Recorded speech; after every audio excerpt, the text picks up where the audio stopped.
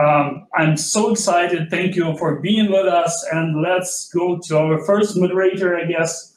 Um, I uh, see Mario is here, so uh, let's greet Mario. Mario, can you hear us? And I probably should uh, get Mario to the stream. Hey, Mario. Hi, guys. Hi, guys. I'm very happy, glad to open uh, this, this event. with Yeah, the it's a great sound. Wait a minute. Wait a second. Um, you know, you it's always happens some technical stuff. Yeah. Okay. Let's do it. So, do you hear me now? Okay, so it's really great to open this event. I'm, I'm, I'm really happy.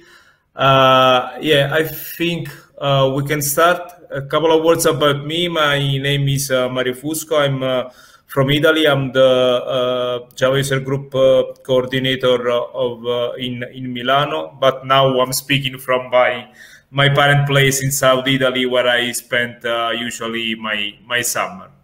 Okay, and uh, I work for Red Hat. I'm the, uh, the project lead of Drools, which is the, uh, the rule engine of Red Hat.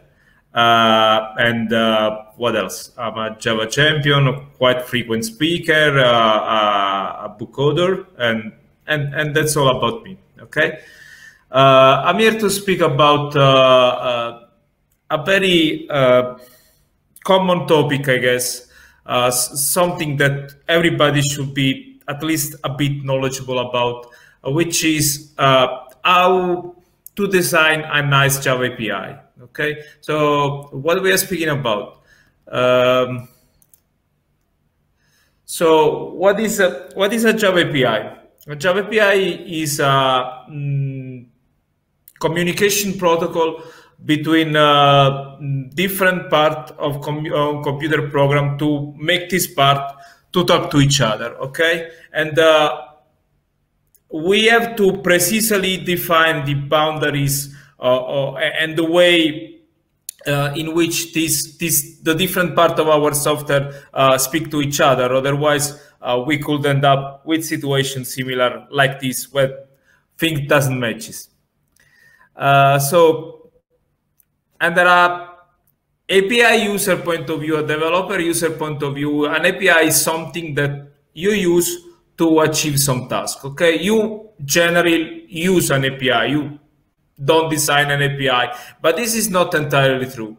Okay, so again, the API is a, just a contract between the provider of API, the provider of the service, and the consumers of that service. Okay, but uh, uh, why you should care? Yes, more often you consume an API instead of designing it, but this is not entirely uh, uh, always true because uh, you uh, your software doesn't work in, in isolation. Yes, it uses other software, but it may happen. It could happen quite often that you are also providing your own API. You are uh, designing a library, a framework, or a, a software that does something that exposes an API, uh, and you want this API to be uh, uh, nice to be used uh, by your customers. Okay, and and in reality, there are a ton of basic principles, uh, sometimes even contradictory principle uh, to uh,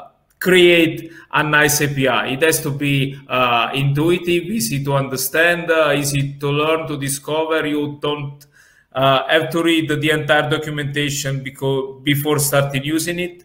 Uh, it, it should be uh, concise, easy to, easy to use, minimal. It should be idiomatic of the language. Uh, if you are developing and providing an API uh, in Java, it, it could be quite different uh, from the same from from an API providing the same thing, let's say in Scala or in JavaScript or in another language. Okay, it it should be flexible and easy to evolve, well documented, and uh, it should. Uh, uh, do stuff at the right level of abstraction. Okay, uh, it it sh- it shouldn't have uh, a leaky abstraction. It shouldn't uh, oblige user to deal with stuff that they shouldn't normally deal when using your stuff. Okay, um, and one very important principle to me is the last one is respecting the principle of least astonishment, meaning uh, the user is discovering your API, is discovering how it works, maybe reading uh, the documentation, maybe not, uh, but it shouldn't be surprised of how it works. It shouldn't uh, uh, expect to do something and then doing something totally different. Uh, so another uh, important principle again is uh, evolvability, flexibility. Okay, you cannot predict the future, but you sh should be ready to adapt to it. And uh, yeah, there are many ways to adapt to it. Of course, uh, uh, this this is a joke. You shouldn't always return a map of something to something just in case, but uh, you should be uh, ready. Your API should be easy to evolve. Okay. Uh, I. What does this mean? This means that uh, it should not cover everything from day one. Uh, and uh, in reality, if you are in doubt if adding or not a feature, you should leave it out. why? Because probably you want to add that feature because you possibly think it's nice and uh, quite often it happens that you added that feature because you think that it's just a couple of hours of work to add it and so why not? Well there are a lot of reasons for the why not uh, because the 200 uh, two, two hour of, of work to implement it will become hundreds of hours of support to maintenance that in future because once it is in people expect to use it uh, even if it is not uh, well designed. Uh, it, it will bloat your software.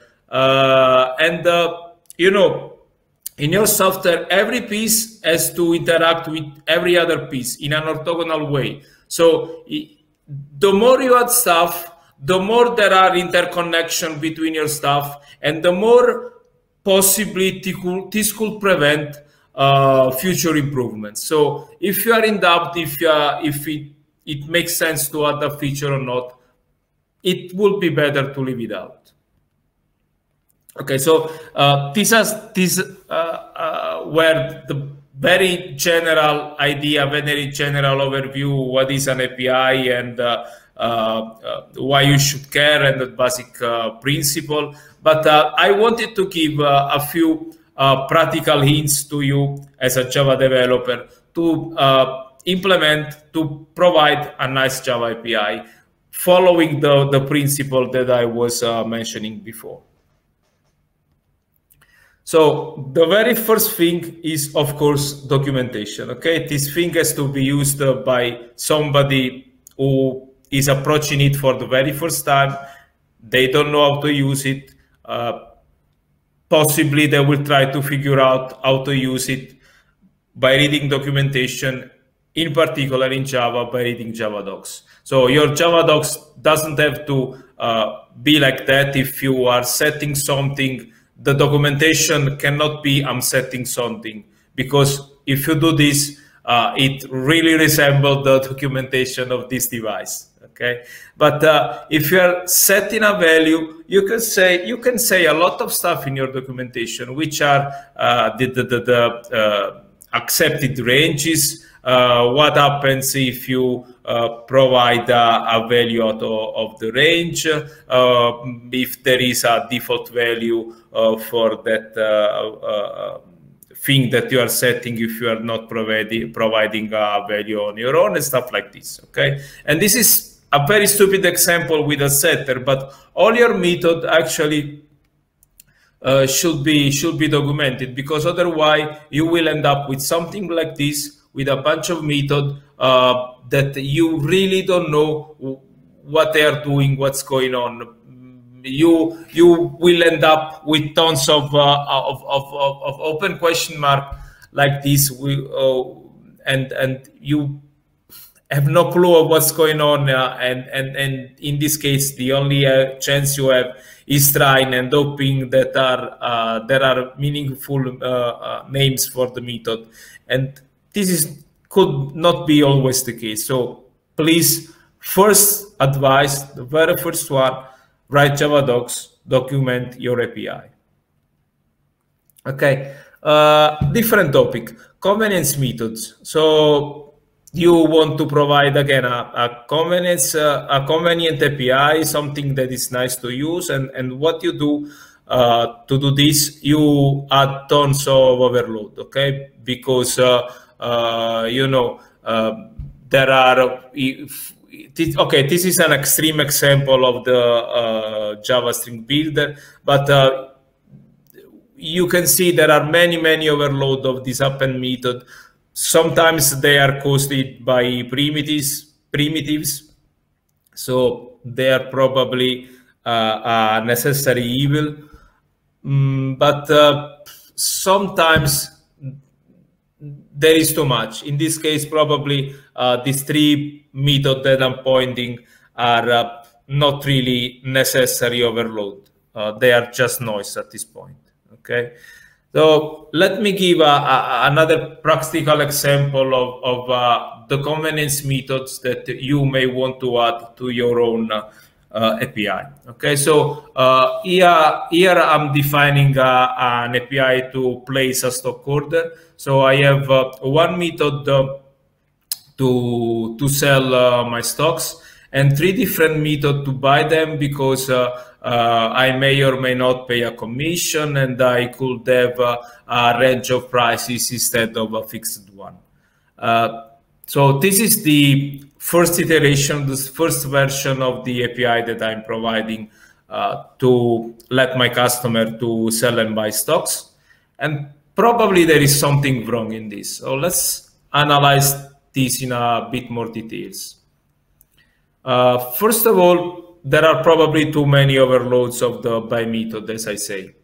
Another uh, common and very bad mistake is that uh, in this API you have an inconsistent uh, order of arguments. Okay, for with the sell method you first have the price and then the quantity, and the and in the buy one you have the opposite.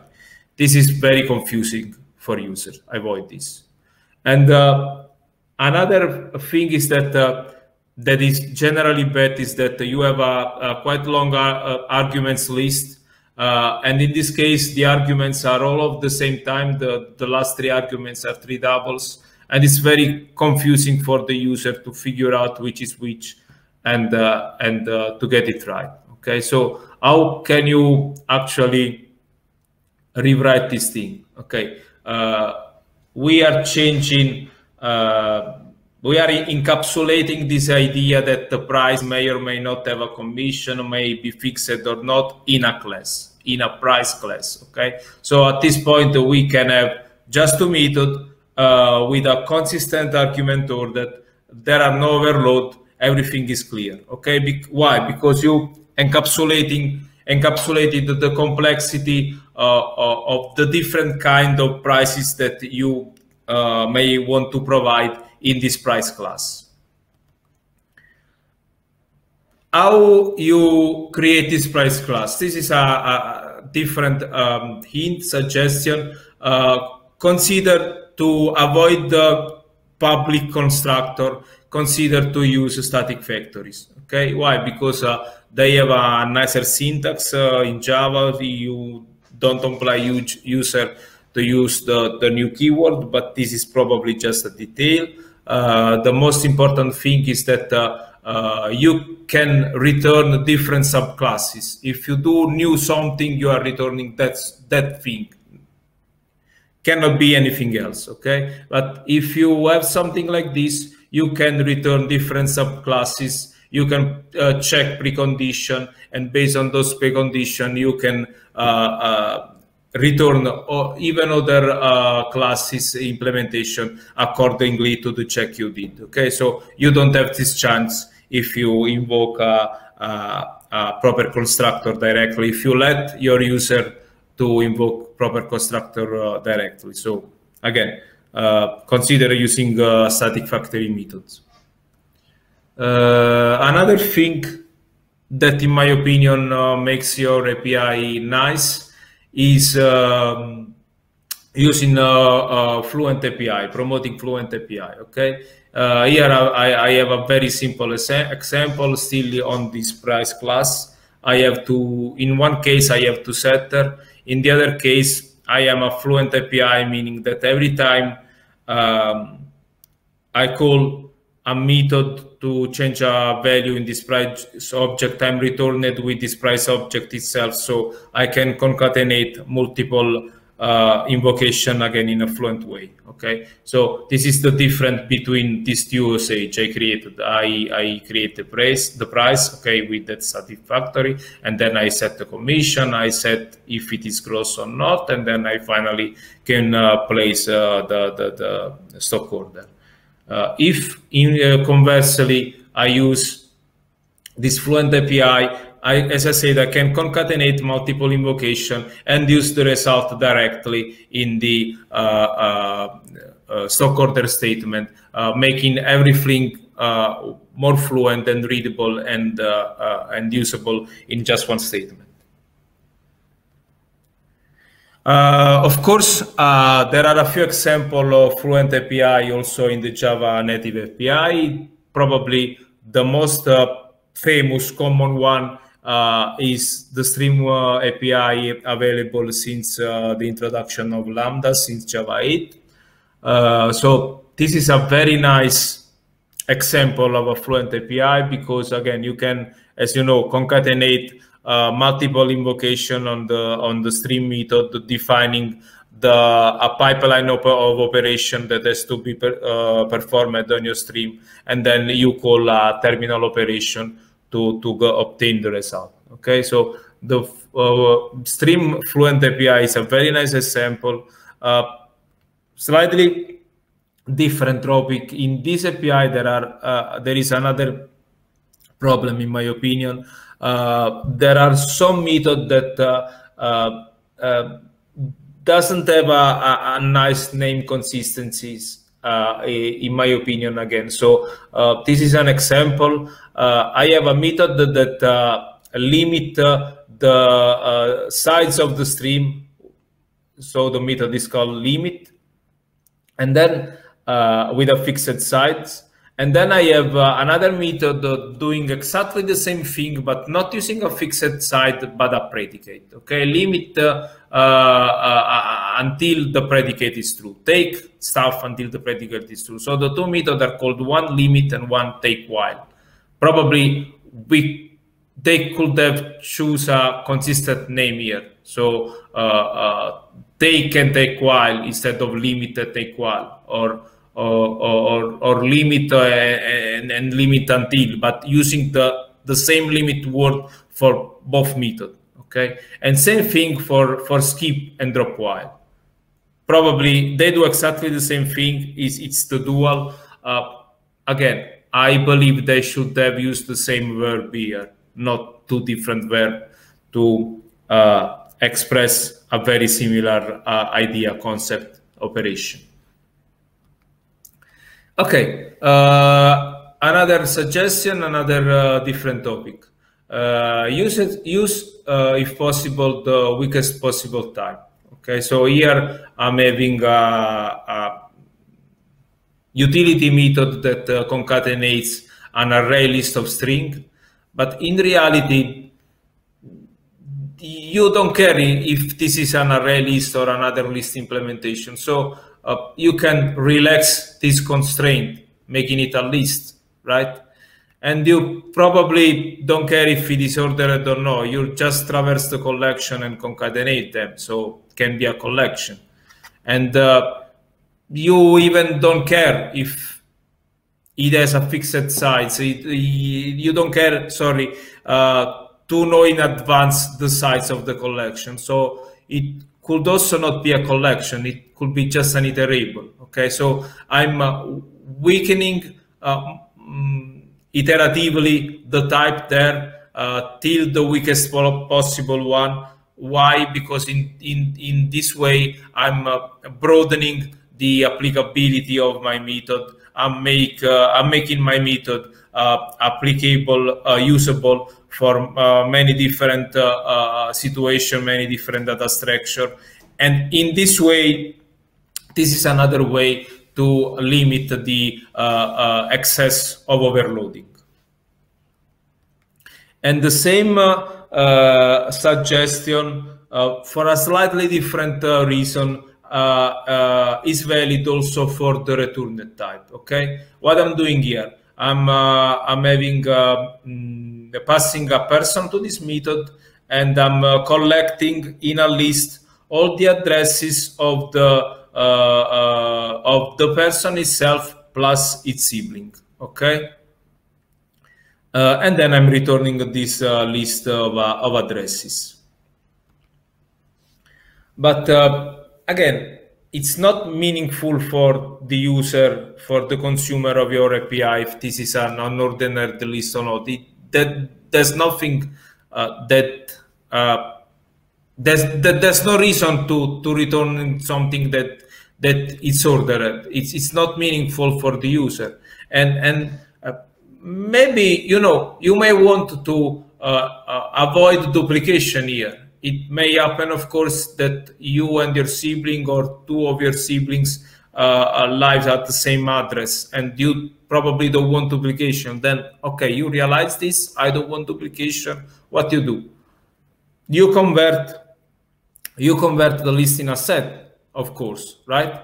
The problem is that if you do this, okay, you have for free the fact that uh, now all the addresses are distinct. You are you don't have duplication anymore. But the problem is that you have a list in the return type of your method in your signature, and uh, this of course doesn't compile anymore. Okay, uh, uh and uh, you cannot at this point uh, change the return type. Why? because you're breaking the, the backward compatibility. Uh, users are already using uh, this method, this API. They are used to receive a list. They wrote list in their code for no reason, could be a collection, but they wrote list because you are returning a list. And if you change it now, you are breaking their code, your client code. You don't want this. Okay, so you can think to this in advance. Uh, okay, the, of course, the way to fix this with the current signature is to uh, uh, uh, recollecting the stuff that you gathered in, in, in, the set inside another array list. but doing so, uh, you are doing a useless and expensive copy of all the uh, uh, of all the, the data before returning them. Okay, so if you figure it out in advance that your user don't need a, a list.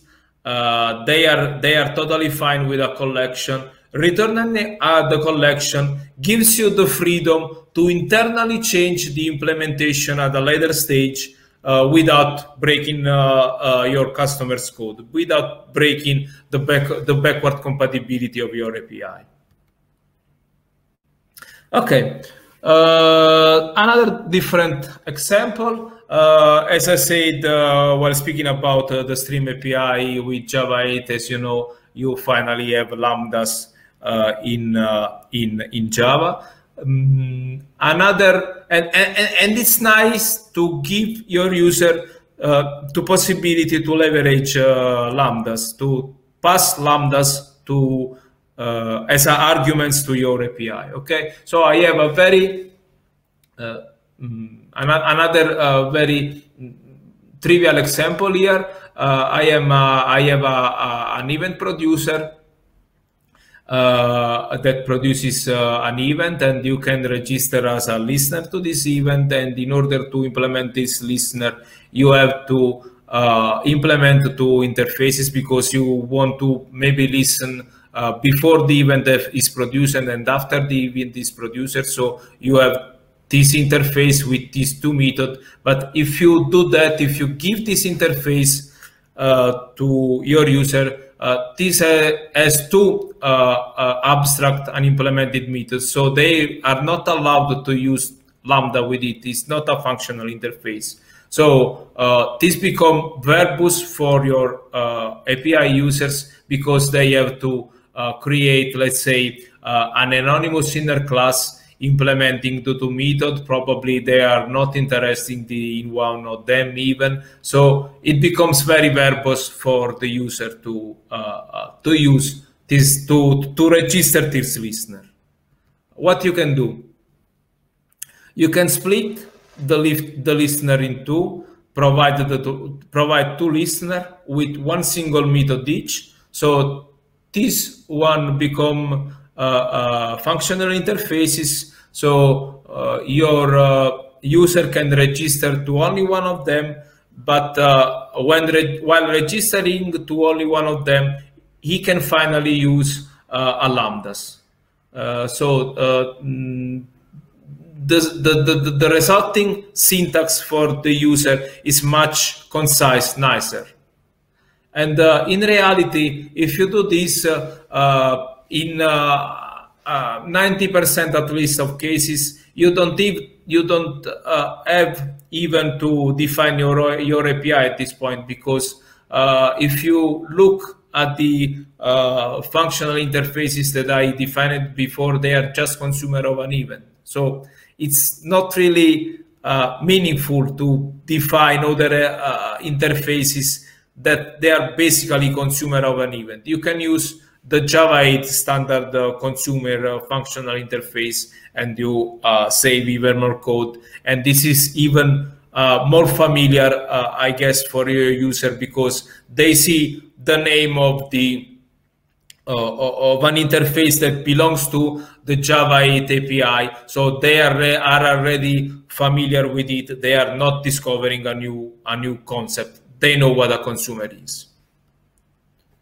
Uh, this is something uh, uh, uh on which I talk quite often. I really, really don't like checked exception. I know this is a delicate, sensible topic. There are a lot of discussion about this in the Java ecosystem since since ages. Um, but really, I, I never liked it. I never see the point in it. But the problem is that uh, lambdas made this even worse. Okay, because uh, in a lambda you can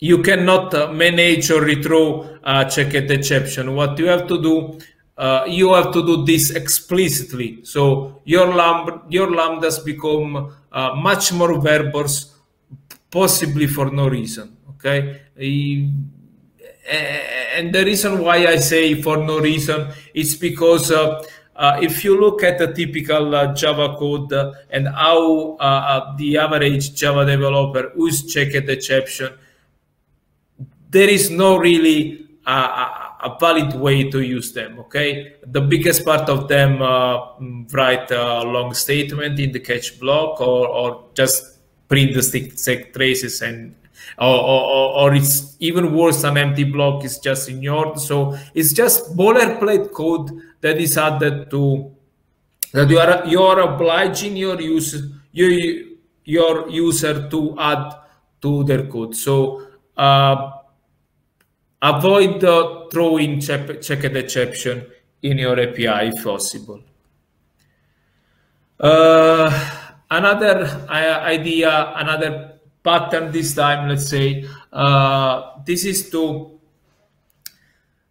uh, to underline another point that uh, I mentioned it at the beginning of this talk. The your API should uh, provide the right level of, of, of abstraction. It should not oblige uh, your user to deal with low level details. Okay, so what is the low level detail? What I'm doing here and what's in, what is wrong, let's say, with this piece of code. Uh, uh, I wrote a, a method that uh, read a file and put it in a byte array. Okay, so I'm uh, opening a stream, uh, reading uh, the, the, the, the the content of the stream inside this byte array and then returning the array. Okay, that's that's pretty simple. But the problem with this is that uh, uh, I forgot to close the stream. To close the stream, I have a, a, a descriptor leak. Okay, so what I have to do uh, is uh, uh, using a, a, a try finally block, closing the stream inside my finally block. I have to remember every time to do this. Otherwise, I have a leak. a file descriptor leak in this case.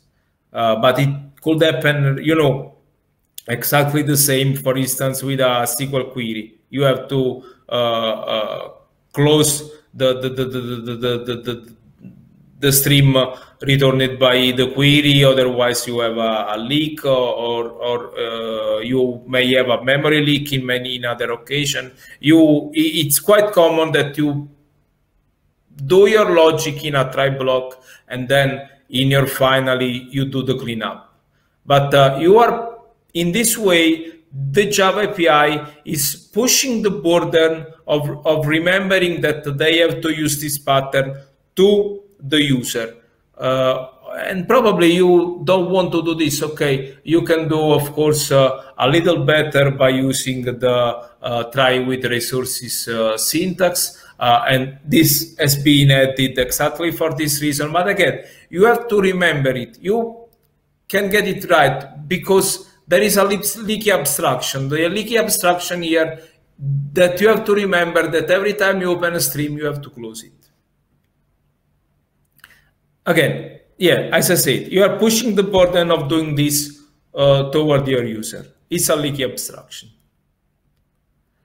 Uh, how can uh, uh, you can how can you avoid this? Um, you can define uh, a static method like this. Okay, I have to struggle again uh, with the uh, uh, check get exception problem. So I had to work around it. I had to define my special function that throws an IO exception. Otherwise, this stuff doesn't compile. but once you have this, you can define this method uh, this method take the file name and accept a consumer of the of the stream. Okay, so uh, this is the method that I wrote that uh, uh, my user are supposed to use. Okay, and what I'm doing in this method, I'm uh, wrapping the leaky abstraction. Okay, I'm uh, I'm, I'm I'm doing my, this stuff in a in a uh, the try with resources block instead of expecting my user to do this. So when your user use this uh, uh, API, uh, they don't have to remember that they have to close. They call with file, passing the file name and and the, the, the, the consumer of the file stream, the, the lambda that does the same job. But uh, okay, this is this is not less or more verbose than before. But uh, I'm taking the burden of remembering that uh, all the strings that are open and do, opened during this process will be correctly closed. It's no longer possible that uh, your user will uh, forget to close a stream if you do this. Okay, because again, because you are uh, uh, wrapping the leaky abstraction. Okay, another different topic. This is some uh, uh, more or less adapted code, but taken from my uh, project. As I say, I'm the project lead of Drools, the rule engine of, of Red Hat. this is a, a, small fraction of, of an API that we had in our public API, and there were a bunch of methods. Okay, I renamed something, uh, but but it was basically like, like this. Okay, uh, and it was very very difficult to use because there were literally uh, hundreds of methods in inside this uh, this interface, this API. What you do? You split it by responsibility. Okay, that API did a lot of stuff uh, if you see there are uh, uh, there were method to deal with uh, the resources to be parsed to be parsed in this case the resources containing the, the, the rule file uh, and then uh, there were other um, method to deal with module of, of rule set. there were the command to interact with a uh, with a rule set to uh, create command to do stuff on the, on that rule set and then there were there were the longer part and and and there were more and more okay so what we did is that uh, uh we split all this stuff by responsibility so i still have one single uh, entry point. This is very important.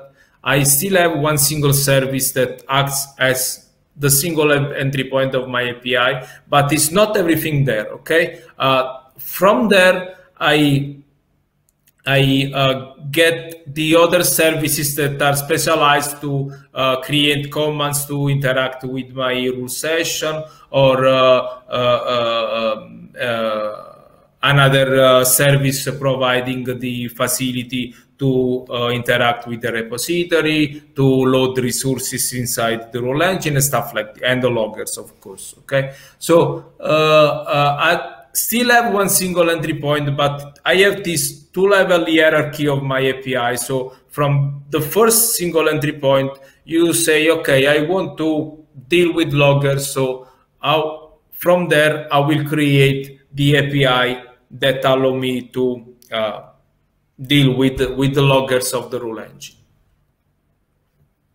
Okay, uh, different topic, also very important. Uh, an, an API, uh, it has to be nice, but it also has, has nice to be used by the end user, but it also has to be uh, self-defensive. So uh, what I mean here, what's wrong here? Uh, I have this class person is returning a, a, a list of uh, siblings in this case. And the problem is that uh, any random user of this can uh, get the, the, the, list of sibling and add any random person uh, to that list. And uh, in this way, the user of uh, API is probably maliciously or even uh, not voluntarily, but is corrupting uh, my, my data, is adding a, a, a random person uh, among the sibling of the of, of the, this person corrupting my data. So I have to defend it.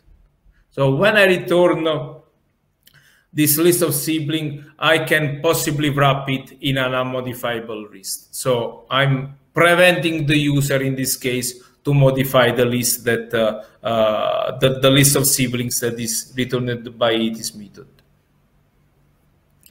Uh, and another thing Mm, similar similar topic. You have to be defensive, but uh, uh, uh, you should also avoid to you to return null almost always because the you know uh, we are all java developer i guess here and you all know that uh, the null, null pointer exception is always around the corner so uh, in this case if the person has no sibling, you shouldn't return a null sibling because user doesn't expect it. Uh, he will try to access the, the, the, the, the, the, list of sibling and will get a null pointer exception. Uh, you are breaking even the principle of less at least uh, um, astonishing here. Uh, you are surprising your user with a null pointer exception that uh, he doesn't expect. Uh, so what you do here uh, is the uh, is there is no sibling, you return an empty list. Again, you are defensive. Is there are sibling, you return a list that is mod, uh, unmodifiable. And uh, in the same way, if the person may or may not have a car, you could probably say this with your type system. Okay, your in, in your case, you are saying with a type system, we are using your, the type system to say something that belongs to your domain model. In your domain model, a person may or may not uh, have a car. So the get car method of that person should re return a car, but an optional of car. In this way, you are telling to your user with your type system, look, this person may or may not have a car. Deal with it. Uh, another suggestion, this is something that I saw quite uh, frequently. Please avoid using Boolean in your uh, uh API because uh, it's too easy to get them wrong. Okay, you have this employee contacts with this get phone number method that accept a Boolean to say if you want the mobile number or not but then your user has to call your method and uh, it's very hard to them uh, uh, uh, to remember if if they have to pass through or false there. What should i pass? I don't know. I need to read the, the documentation okay? And you may want to add a third value in the future and by uh, putting a boolean there uh, you you are preventing this and and and uh, the only way to achieve this in future will be by breaking uh, the backward compatibility. Uh, so again uh, use enumeration instead of boolean. In this case the uh, boolean become an enumeration with three value. And uh, when the user call this get phone number it's uh, immediately clear for him if uh, he has to use he wants the the, the, the home phone or or, or the, the, the, mobile or the office phone okay uh, related to this use meaningful return types okay here i have uh, this uh, uh, registry of employee, uh, and then I have a method to return the, the, phone numbers of all the employee with this uh, cryptic stuff, structure. Okay, what is this map of map of list?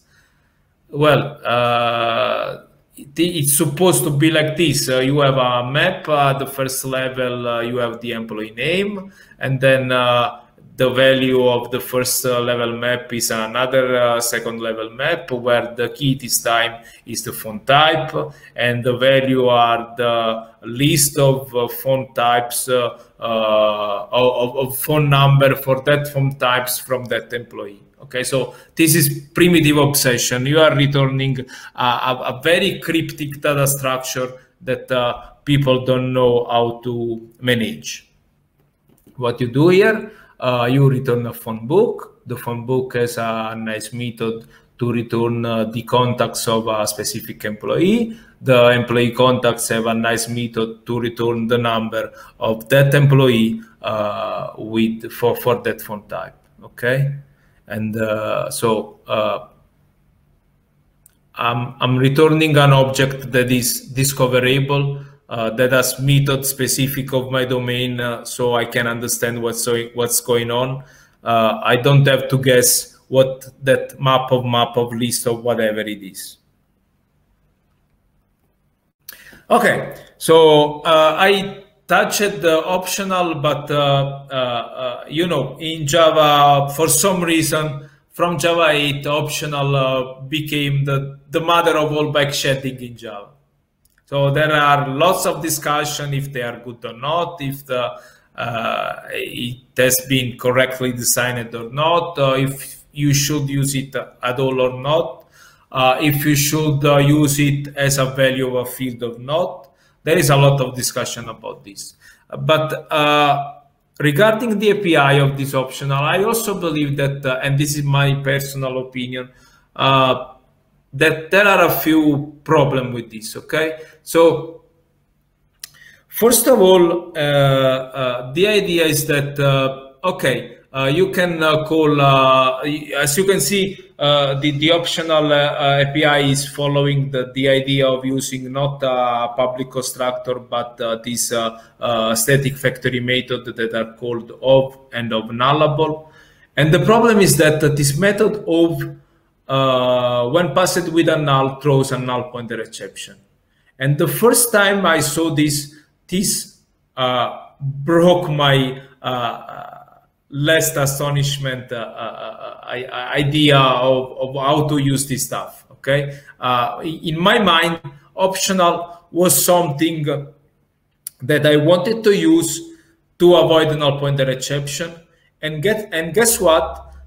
The very first time I used this thing, I got a null pointer exception. This was extremely uh, bad surprising for me. Okay. Uh, and then I figured out, okay, there are two uh, static constructor, one uh, off, and if you pass null to off, you will get the NPE. Uh, if you use the other, you will get an empty optional in case you pass it a null. But uh, first of all, probably the shorter one, which I consider the, the, the default constructor one, the, the one that uh, the first time you approach this class, you will very likely use it, uh, probably is the wrong default. Uh, if you really need it, probably at least it shouldn't be the default behavior for this class to throw a null pointer exception. And uh, probably uh, you really don't need this stuff at all. You don't need this a method, a factory method in the optional class that throws a null pointer exception. Uh, uh, it was, it would be better for me if I just had one off method that accept null and when passed with null return an empty optional. So this is my opinion. But uh, uh I had this discussion on the internet, of course, and uh, as I said, the optional is the mother of all bikeshedding. So I had uh, lots of nice feedback about this. Uh, so um, why I'm uh, posting this uh, series of tweets? Uh, please don't read the tweet. Try to avoid reading the, the tweet. I will publish the slides. You can read it them in more detail if you want, but just take the concept, okay? the reason why I'm showing this series of tweets is that the fact, uh, the obvious fact that there is not a one single truth. Okay, of course, this was just my opinion, but uh, API design is an iterative process, something that you, you should share with your stakeholder, your colleagues, uh, the user of your API, and and find the the, the the the better solution. Okay, which is almost always a trade-off. Uh, so uh, I've been said that uh, that there are people happy with uh, those two often of nullable uh, meters that they see some value in them. Uh, and uh, the fact is that probably i had a specific use case in mind but uh, this guy told me uh, um, you had that specific use case and you are giving the biggest possible weight to that use case, but there could be different situation uh, that you are not uh, taking in, in the right consideration, or probably there are situations that I wasn't considering at all in my analysis. Okay, so Trishan and Brian uh, uh underlined this, uh, and uh, and as I say, a, a, good API is a trade-off. It has many different characteristics, and you need some time to make choices okay? Make choices to uh, privilege uh, uh, the, the, the, the, powerful uh, give more feature to your user or give less feature but uh, in a more concise in a more clear way. It's a choice. You can uh, try with with a solution and then discuss it again and iteratively change your initial choice if necessary. Okay, and the other very important thing is that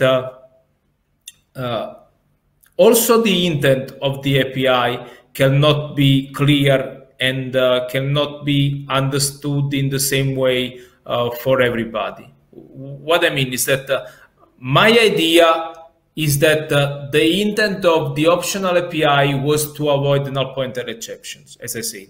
So when I used it for the very first time and got a null pointer exception, is I was very surprised, but probably I was misunderstanding the intent.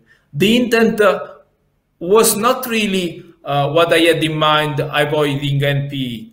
Uh, the intent was telling to people, okay, this uh, value may or may not be there, which is also acceptable. A different intent, they can coexist, but I given more importance to the to one. Uh, Tajir was giving more importance to the other. So this is perfectly uh, uh, valid, and you have to consider this. Okay, so once again, uh, let me reinforce this. Uh, API design is a, an iterative process. You uh, first do one and then you iterate, discuss multiple time, Uh, uh, clarifying uh, unclear intention, removing duplicated and redundant code and method, and avoiding excessive overloading.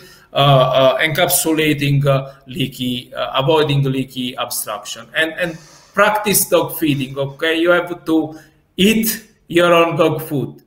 Okay, if you are a, sliding door company, you should have a sliding door at your entrance, meaning that uh, you should use your own API. This is the only way to figure out uh, if this API is good or not. Okay, and uh, uh that's all for me. Again, this talk was probably uh, quite a bit opinionated there could be different point of view. This is entirely based on my on my experience. So uh, I find that by following this suggestion, uh, I could create nice API to be used by by my customers and users. So uh, I'm open to discuss this, and that's all. Thank you. All right, thank you, Mario.